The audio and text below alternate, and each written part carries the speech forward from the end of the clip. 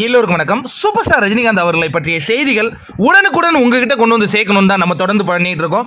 இப்போ ஜெயிலர் படத்தினுடைய படப்பிடிப்பு தளத்தில் சூப்பர் ஸ்டார் ரஜினிகாந்த் அவர்களை ஒரு முக்கியமான நபர் வந்து சந்தித்திருக்கின்றார். அந்த புகைப்படத்தை தான் நீங்கள் பார்த்துட்டு இருக்கீங்க. இவரை பார்க்குற வரையும் எத்தனை பேருக்கு இவர் தெரியும் அப்படிங்கிறத கமெண்ட்டில் சொல்லுங்கள் நான் கண்டிப்பாக சொல்லத்தான் போகிறேன் அதாவது மிக பிரம்மாண்டமான முறையில் சென்னையில் ஜெயிலர் படத்தினுடைய படப்பிடிப்பு நடந்துகிட்டு இருக்கு. அதுக்கு காரணம் இந்த ஆதித்யராம் ஸ்டுடியோ அப்படின்னா அதுக்கு எந்த வித மாற்று கருத்துல ரொம்ப அற்புதமான ஒரு நிகழ்வு சென்னையில் அவங்க பண்ணியிருக்காங்க.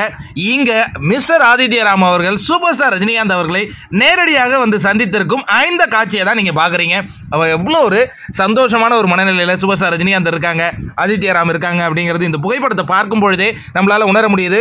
சூப்பர் ஸ்டார் ரஜினிகாந்த் அவர்களுக்கு ரொம்ப ஹாப்பி அப்படின்னு சொல்கிறாங்க இந்த சீக்வன்ஸ் படப்பிடிப்பு போயிட்டு இருக்கிறது இன்னொன்று இந்த சென்னையில் படப்பிடிப்பு நடைபெறுது. ரொம்ப சூப்பராக நடைபெறுது அப்படிங்கிறதே சூப்பர் ஸ்டாருக்கு இன்னொரு மிகப்பெரிய மகிழ்ச்சியை கொடுத்துருக்கு அப்படின்னு சொல்லலாம். இது லேட்டஸ்ட் பிக்சர் இதை எப்படி பார்க்குறீங்க?